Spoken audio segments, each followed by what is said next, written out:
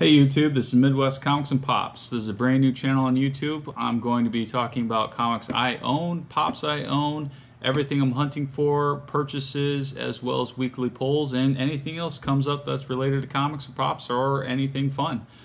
If you like this video, please like and subscribe.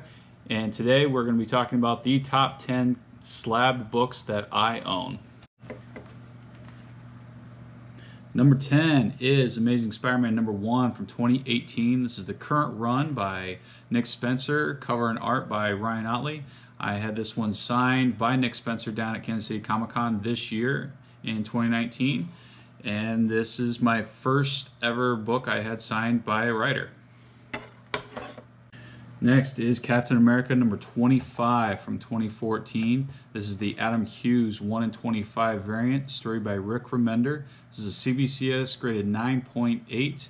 This is the first appearance of Sam Wilson as Captain America. After Avengers Endgame, I just had to have it. Number 8, we have Harley Quinn number 1 from 2016 of the DC Rebirth.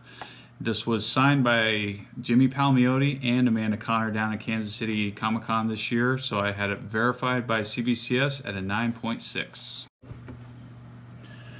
Number 7 is Amazing Spider-Man number 361, first appearance of Carnage. This was 1992, David Michelinie writer and Mark Bagley cover, and I cannot get enough of Carnage. This next one really doesn't fit the mold, but for number six, I've got Middlewest number one, a signed by Skottie Young, artist and writer. This is a 9.8 from CBCS. This is the 1 in 20 retailer incentive. I really have high hopes for the story. It's a fantastic read. If you're not reading it, I highly suggest you pick up the trades. It is going to be a great big story once it finally gets picked up. Number five, I have Flash 139 from 1963. This is the first appearance and origin of Reverse Flash, aka Professor Zoom. This is one of my all-time favorite villains, and I love the Flash show on WB, and this is one of my favorite books in my collection.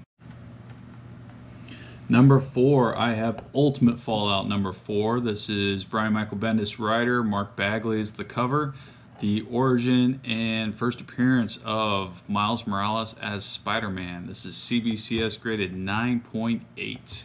I got this off eBay and took the chance trying to chase the 9.8 and got real lucky. And after the Spider-Man PS4 video game, I can't wait for more Miles Morales.